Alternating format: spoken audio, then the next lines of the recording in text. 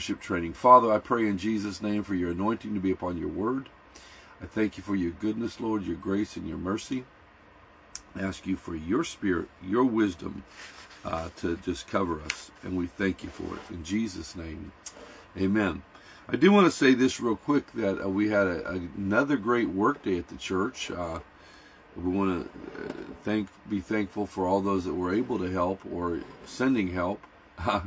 because we had a large group. We uh, got a great deal done again today, and um, we're steady working at it to get prepared for our company coming. But more than that, it's just the house of God. We want to take care of it. Hello, Kim. Um, it's it's just uh, it's good to see the uh, the body working together, but also the church coming together, and some long needed maintenance is being taken care of. So I am so appreciative.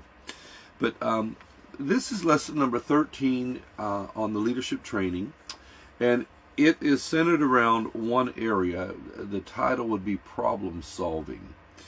Uh, and this is almost a no brainer, but it's a very good uh, uh, teaching.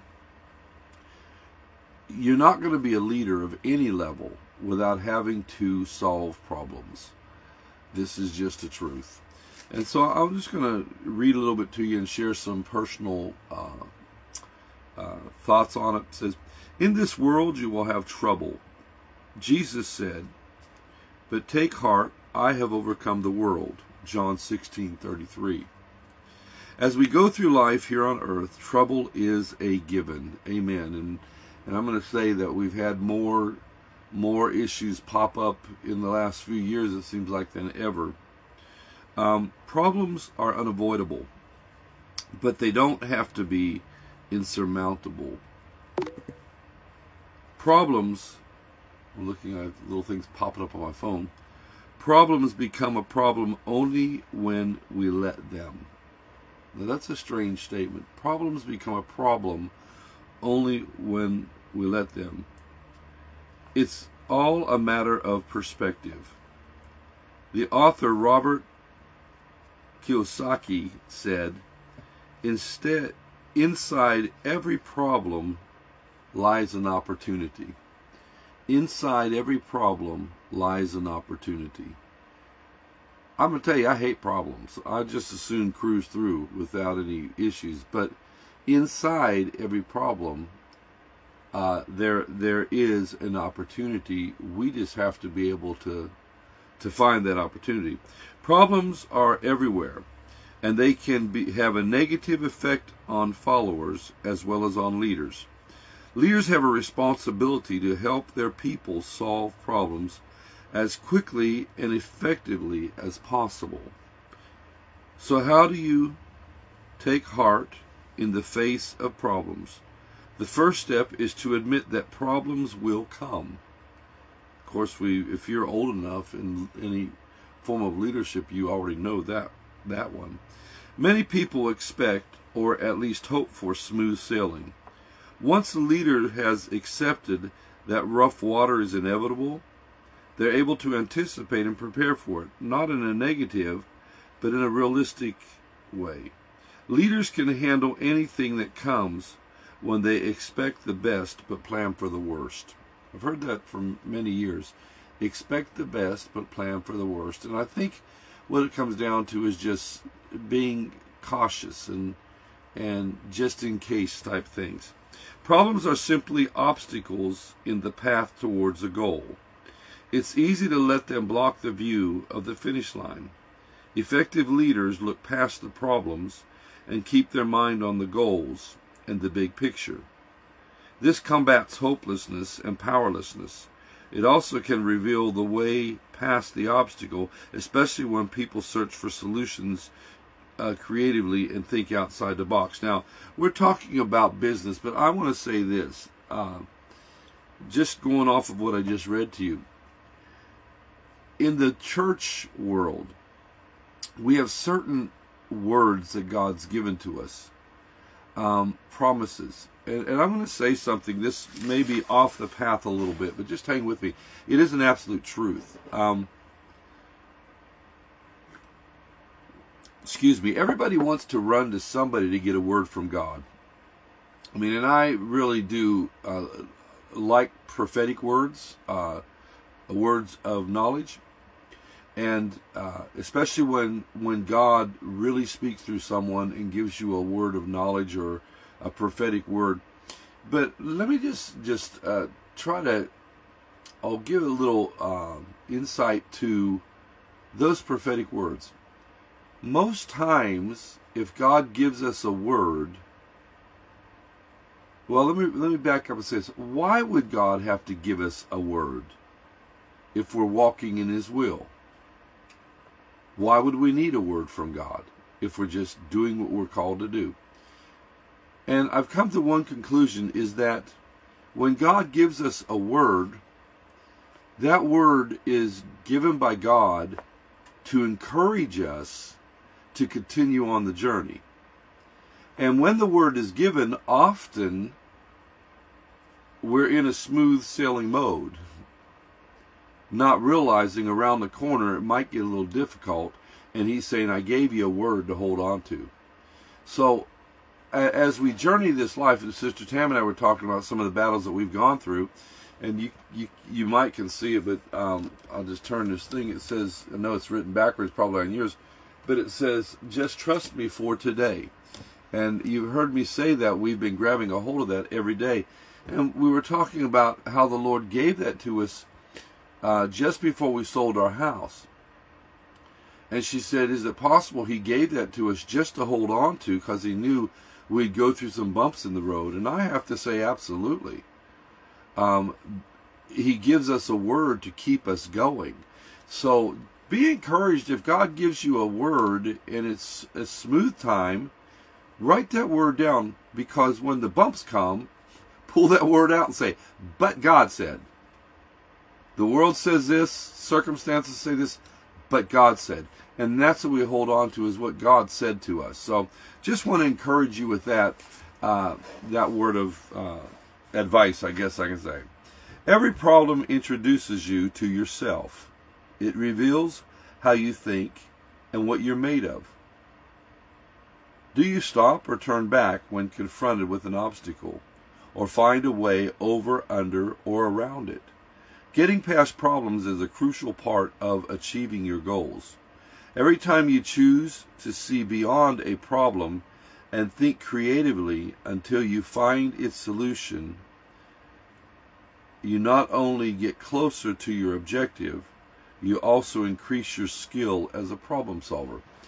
One of the things that I've had to do in business, uh, especially when you're in the uh, field working, I'll say it that way, church and you know that's that's one situation. Uh, but in the construction field, there are multiple obstacles daily. Hello, Heidi. There are multiple obstacles daily in the construction field. And my men that worked with me, they would see me often just standing and staring. And they got they got to the place of realizing I'm just thinking and I'm thinking ahead. I'm looking at things and saying, okay, is there going to be a problem here or is there going to be a problem there? And I literally would would avoid many uh, potential issues of delay because I slowed down to think about it. Because what I found out is every obstacle can be overcome. And uh, I'll give you a scripture says uh, we can do. Can you can you write down can do for me? We can do all things through Christ who strengthens us. There's not an obstacle, a circumstance that we can't get through to the other side. Matter of fact, the Bible also says, All things work together for the good of them that love the Lord, who are called according to his purpose.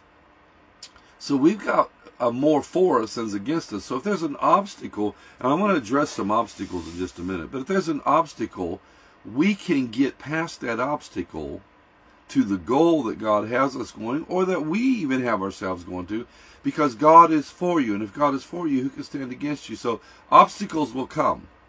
I spoke last week, I think it was last week, about you know we're we're uh, uh, having services doing our thing, and then someone burns our church down.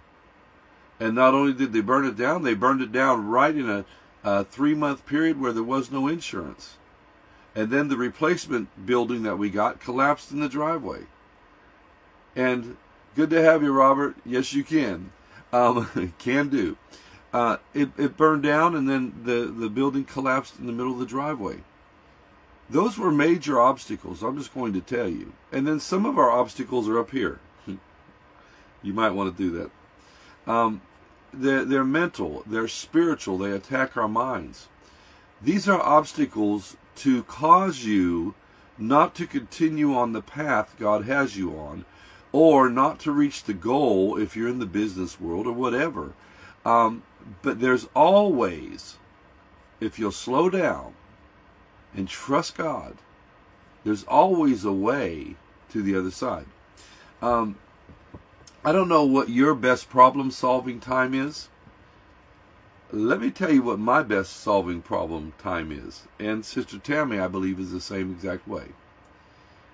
When we go to sleep, often in the middle of the night, the Holy Spirit will speak to me and show me the complete solution to an issue. I mean, he'll just like, I wake up in the middle of the night and I know the whole answer. Has anybody on here ever had that happen? Because it happens to me fairly often. Even if it's a, a personal issue, a financial issue, a construction issue, a uh, whatever problem may be, often in the middle of the night, the Holy Spirit speaks to me and wakes me up and literally, he has spoken the whole answer to me. And I've got up the next day and said, here's how to do that. And it was exactly. Thank God we're not alone on these things. Some people may say that, you know, hey, Pastor Dave, you're you're a strong man. I am not. I serve a strong God. That's the reality. Uh, so slow down and know that there is a way around every obstacle, and God is for you. So I hope that makes sense to somebody. So I want to just cover just a couple of areas. Um, problems come, or obstacles come, in many shapes and sizes. I wrote this down, and this is just in the natural uh, element of things, circumstances. From air conditionings, hello, Ruth Powers, sometimes we're our own worst enemy. Yeah, you're speaking a mouthful there.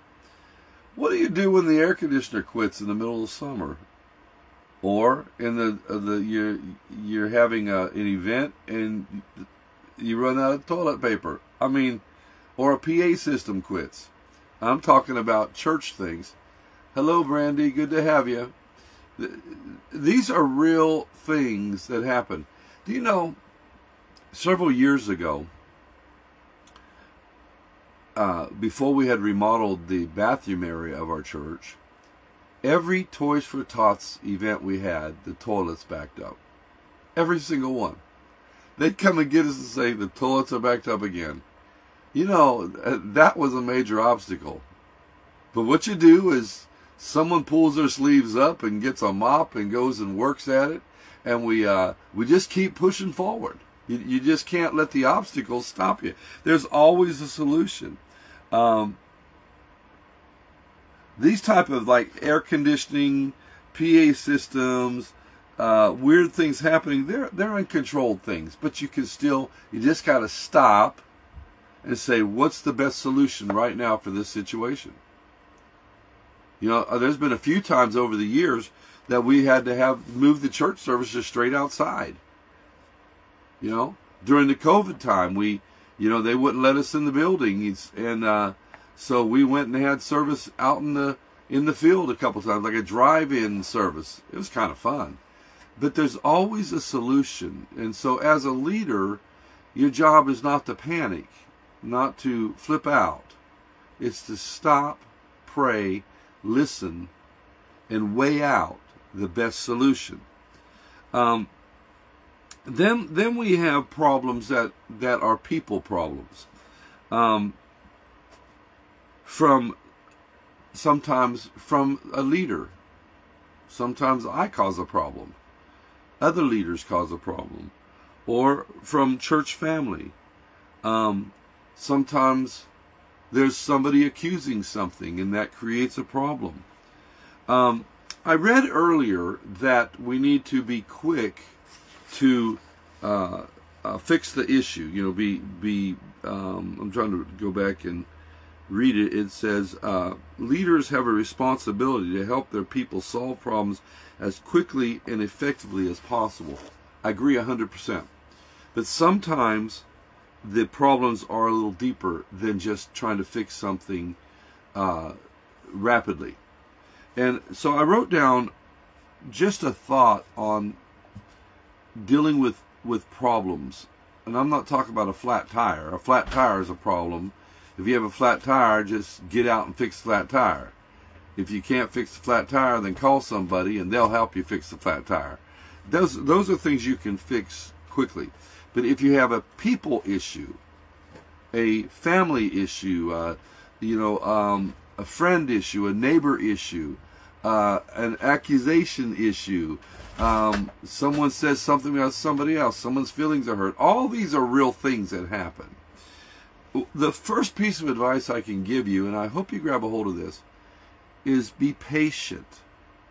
Don't just jump into something and try to fix it contrary to the first part of this, the first part of this is just in the realm of air conditioning breaks or some crazy thing happens or you, you're you, someone don't show up. These are all fixable right then.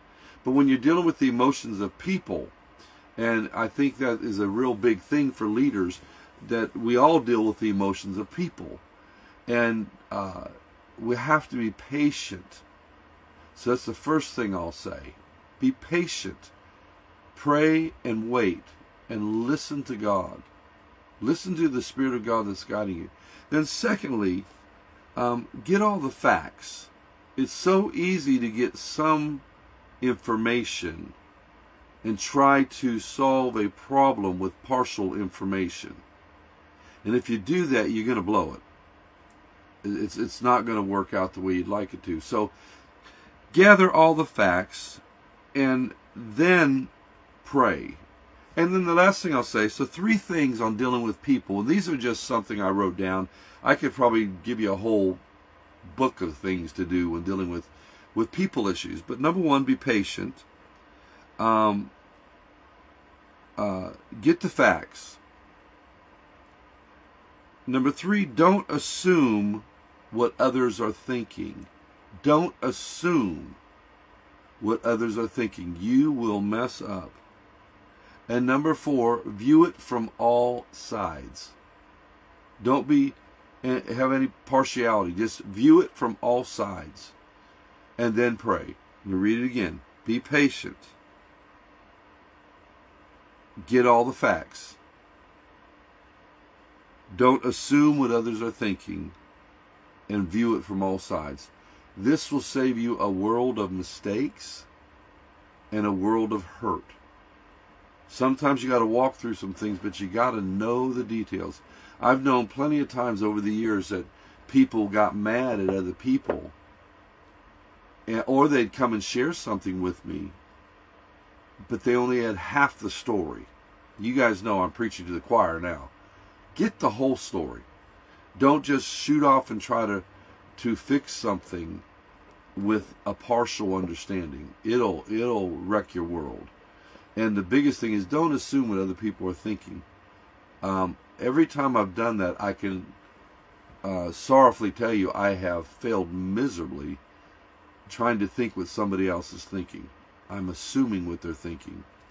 Um, so I'm going to read it one last time. I hope this makes sense to you. If what I'm saying to you resonates, give me some stars or something, or flags or hearts or something. Be patient. Get good facts. Don't assume what others are thinking and view it from all sides. Very, very important to make a good decision and then pray about it, of course. Be patient. Pray in that patience and ask God to tell you do I step in, do I not? Do I wait? What do I do? And let the Holy Spirit lead you as a leader to resolve problems that involve people. If it's a problem that involves a battery that goes out, buy a battery. it's pretty simple. But people problems are a whole different world because people have emotions. We all do. And the, the more I'm I'm uh, in ministry and leadership, and the older I'm getting, I'm realizing I don't think any of us don't have problems, and sometimes those problems just kind of come out around us. Um, I, can I confess something to you?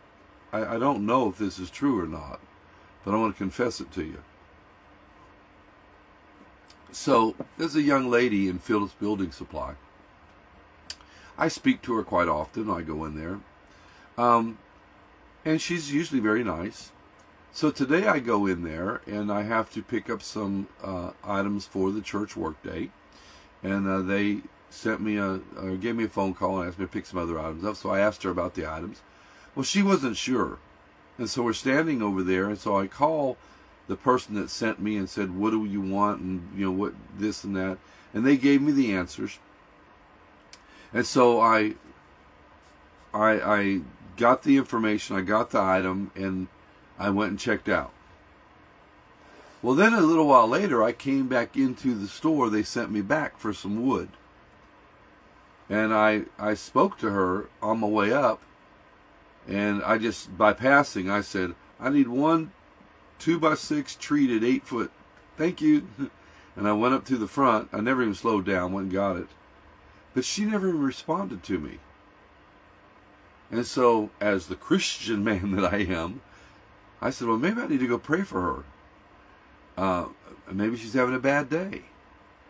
So I pay for my wood and I go to the back and nobody's around. It's just her and me. And I said, are you okay? Because you seem sad today. And she she says, I'm okay today. This I don't have any problem.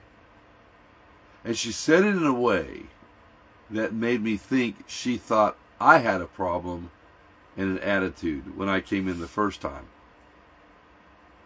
And I said, Well, I don't like it when you're sad. And I smiled at her real big and walked out. And next time I came in, she was all friendly and stuff. But I think maybe I responded buying the first item. Hi, Debbie I responded buying the first item in a way that she took it that I was not happy, or I was angry, or I was mad at her. You see, we're dealing with emotions, and maybe it was me, maybe it wasn't. But either way, a signal was sent, and we had to clear that air because it's just that simple. You're dealing with the human race and and emotions, so don't just assume you might be the problem or they might be a problem. Let's just try to fix it and work together. Amen. I hope that makes sense to somebody. Okay. Sorry I'm rambling on. Um, I, I want to share a, uh, as we do each week, a uh, storyline of the Bible. And, uh, oh, oh, World Outreach said maybe it was me. Hmm. Thank you. Uh, yeah, um, I, I, I would almost bet that that came from my wife uh, in the other building. Thank you, Sister Tammy. Um, maybe it was me. Well, hey, let's just talk about that for a minute. Let's have some fun. We get angry uh, sometimes or bothered by other people because they'll get bothered at us. And they'll think that you have a problem and you think they've got a problem. Well, let me tell you something. If your blood pressure's up, or in many cases, if your sugar levels are a little wacky, if your hormones are a little wacky, uh, any chemical imbalances inside your body, listen to me close. I don't. I'm not trying to be Doctor Dave, but those chemical balances inside your body, if they get out of whack, you can you can show an attitude without feeling an attitude you can show that you're angry and you're not really angry, but it's coming from you. So don't be so quick to point the finger at somebody else when it might be something that's going on inside your own body that you don't even know about.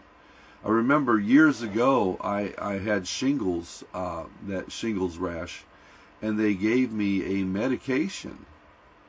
It totally changed my personality.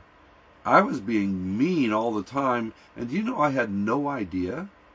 I thought I was being sweet as pie, and they said, "Why are you so mean?" I said, "What are you talking about being mean? I'm not being mean." but maybe I was. And I asked several of the family members. They all said, "Yeah, you're being mean." So we looked up the side effects on that medicine and said, you know, can get angry or whatever. So we went to different medicine, got rid of it. Don't be so quick to point your finger and say someone else has got the problem when it can be you. Look in the mirror first. Just saying. Just a simple piece of advice. Thank you, Sister Tammy, for reminding me that sometimes I have problems. Here you go. You ready? 2 Kings chapter 4, verse 8. One day Elisha went to Shunem, and a well-to-do woman was there, who urged him to stay for some food. So whenever he came by, he stopped at their house to eat. She said to her husband, I know that this man who often comes to our house is a holy man of God. Can we make him a small room on the roof and let's give him a bed, some place to rest, a table, some place to eat and study, a chair, some place to relax, and a lamp that he can see. Then he came, uh, then he can stay there whenever he comes to see us. One day when Elisha came, he went up to his room and he laid down there, and he said to his servant Gehazi, Call for the Shunammite woman. So he called her, and she stood before him. Elisha said, Tell her, you have gone to all this trouble for us. Now what can we do for you? Can we speak on your behalf to the king or the commander of an army? Is there anything that you want? And she replied, I have a home among my own people, so what can be done for her? Elijah said. In other words, she says, I, I have a home right here. What, you know, and Elijah said, what can be done? And Elijah asked Gehazi, and Gehazi said, she doesn't have a child. She has no son, and her husband is old. Then Elisha called her so he called her, and she stood in the doorway. About this time next year, Elisha said, You'll hold a son in your arms. No, my lord, she objected. Please, man of God, don't mislead me. She didn't know that was a prophetic word. But the woman became pregnant, and the next year, about the same time, she gave birth to a son, just as Elijah had told her. And the child grew, and one day he went out to his father to join him, who was in the field reaping. And he said to his father, My head hurts me, my head hurts me bad. So his father told his servant, Take him to his mother. And after the servant had lifted him up, he carried him to his mother, and the boy sat on her lap until about noon. Then the boy died. And she went up and she laid him on the bed of the man of God, and she shut the door and went out. Now, I want you to understand something. This is a problem that got in the way heartbreaking problem. But she made a decision to say there's a solution. Now, it doesn't always work this way, but she had a direct contact with a powerful man of God. And so she laid the boy, this is her way of saying, I'm getting around this problem. She laid the boy on the bed, and she called her husband and said, Please allow me to have one of the servants and a donkey so I can go to the man of God quickly and I'll return. Why are you going to him today? he asked. It's not the new moon or Sabbath. That's all right, she said. Everything's good. I just need to go. So she saddled the donkey and she said to her servant, Lead on, and don't you slow down for anything unless I tell you to. So she set out and came to the man of God at Mount Carmel. And when he saw her in the distance, the man of God said to his servant Gehazi, Look, there's the Shunammite woman. Run and meet her and ask her, Are you all right? Is your husband all right? Is your child all right? Is everything all right? So he, she, he asked. She said, Everything is all right. And when she reached to the man of God, you see, she was speaking in faith. Everything is all right because I'm going to the man that gave me the child by the Spirit of God. He spoke it to me. So obviously, he's got ability for God to change this. Now she was still human, but listen. She reached the man of God at the mountain, and she took hold of his feet. And Gehazi came over to push her away, but the man of God said, No, leave her here. She's in uh, bitter distress. But the Lord has hidden it from me, and, and I don't know why she's holding on to me. She said, Did I ask for a son, my Lord? She said, Didn't I tell you, don't raise my hopes? Elijah said to Gehazi, Tuck your cloak into your belt, take my staff in your hand, and run. Don't greet anybody that you meet. And if anyone greets you, don't even answer. Lay the staff on the baby's face. But the boy's mother said, As surely as the Lord lives and as you live, I will not leave. So he got up and followed. In other words, she says, I'm not worried about you sending your servant. I came for you. She she made up her mind how to resolve the situation, and she knew the answer was coming from the prophet himself.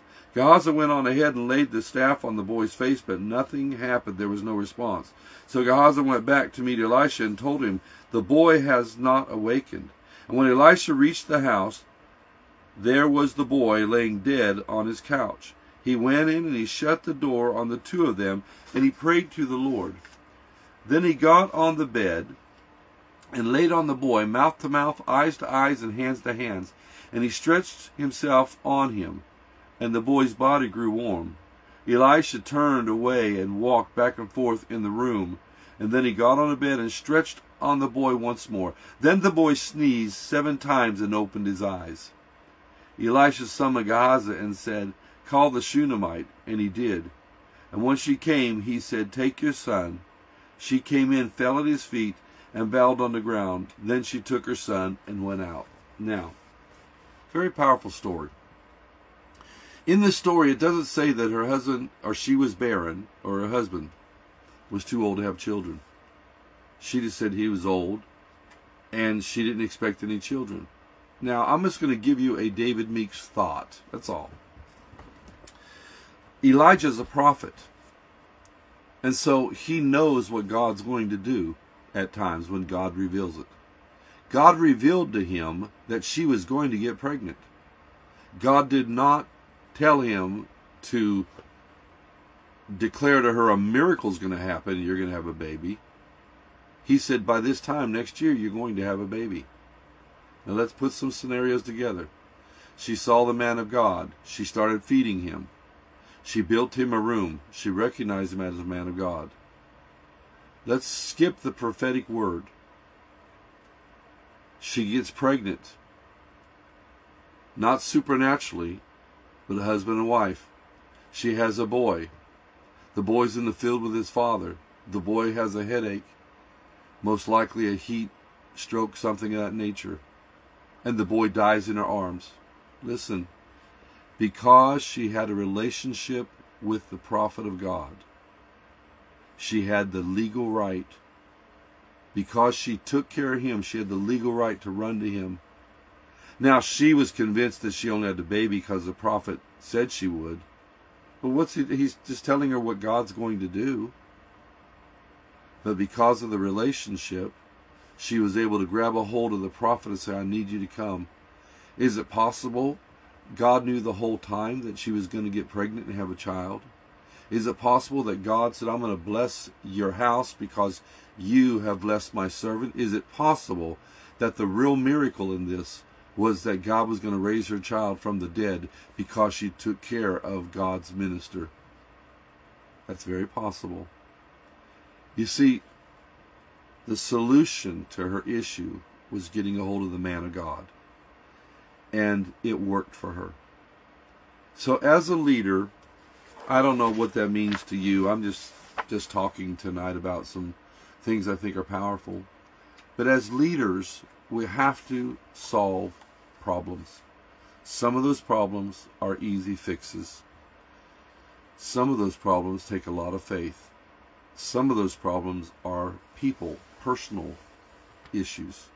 Some of those problems are us. we have to slow down and be patient. We have to get the facts. I'm going to read my little list I made for you, and then I'll I'll uh, close for the night. We have to be patient. We have to get the facts. We can't assume what others are thinking. We have to view all sides before we can solve those problems. So, I hope this made sense to you. It seems like I might have been a little scattered. Maybe my sugar is high tonight. um, just being silly. But if you've enjoyed this, if it if it uh, resonated, if it helped you at all, could you like send me some stars or uh, hearts or something, or just write on there, you know, thank you, anything, just just for the sake of knowing if it, it resonated with you. Amen. Rosemary says, we have to hear what God says. Very powerful word, Rose. In all of this problem solving with other people, we have to hear what God says. There's no no real simple do this and do that. It's hear what God says. Amen. Thank you guys. I thank you for being with me. And um, next week we'll be back here. Isaiah, good to have you. Thank you, Isaiah. Um, next week we'll be back here again. And if you can make it to church tomorrow, or if you go to another church, uh, hello, Kim. Good to have you, lady. Try to go to church tomorrow. It's a great thing. Thank you, Valerie. It's a great thing to um, get in the house of God and worship the Lord together. There's great power in that. We spoke this morning at the men's breakfast on uh, Psalms 133, where when God's people dwell together in unity, it brings a commanded blessing. And I like walking in the commanded blessings. Amen.